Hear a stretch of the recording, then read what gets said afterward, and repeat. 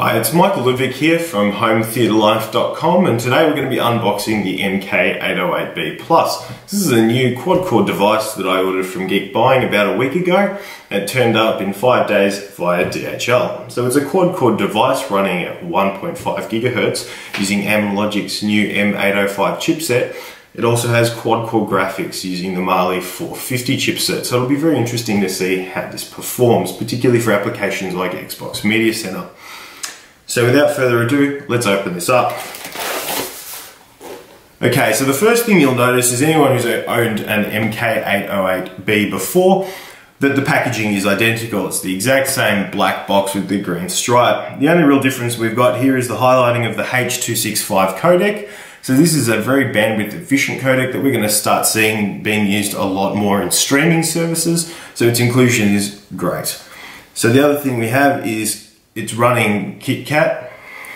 We have a, the, obviously the quad core specs there, 1080p video output and also BGN Wi-Fi.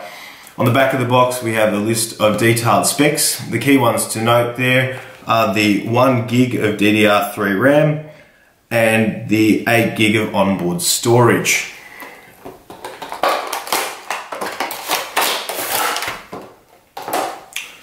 So the device itself is identical to the MK808B.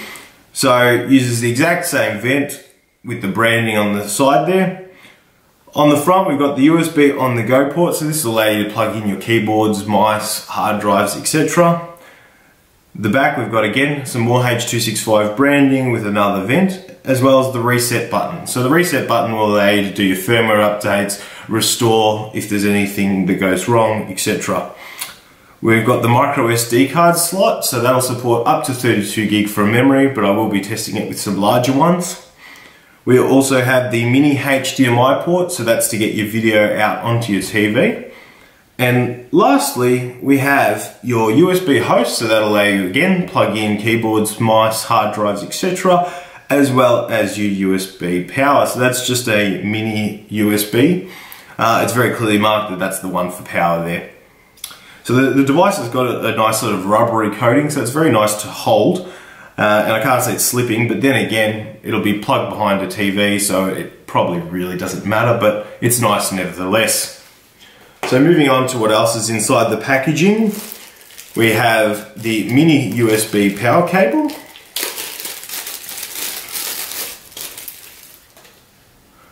So this is, is just a standard USB cable there we're looking at about a meter, maybe a meter and a half. Um, the good thing is that these are quite economical to purchase, so if you do need a longer one, they are very cheap to get. However, this is, is quite a good distance, so it should be able to reach uh, between where the device is sitting and your PowerPoint. We're also given a power adapter. So this power adapter is your standard USB power adapter, 5 volt at 2 amps. So this is pretty common on what you'd see on, on any smartphone or tablet these days. So really easy to replace if you need another one. We're also given a USB on the go cable, so that'll take that mini USB on the go port and turn it into a full size one to make it easy to plug in your other peripheral devices. And we are also given a HDMI cable. Now, unfortunately, this is a very, very small HDMI cable, which sort of restricts what you can and can't do.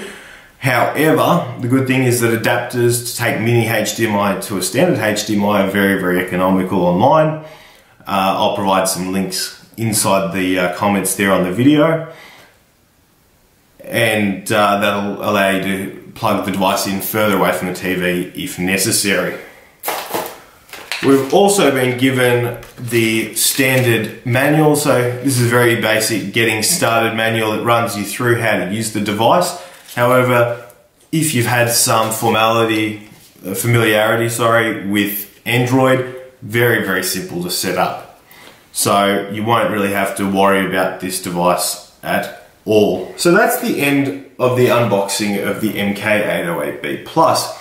If you've got any comments, let us know in the comments field below or shoot us an email at hometheatrelife.com And make sure you go to our website and follow us. We're on Twitter, Facebook, Flipboard, basically any social media, you can find us. So reach out to us there.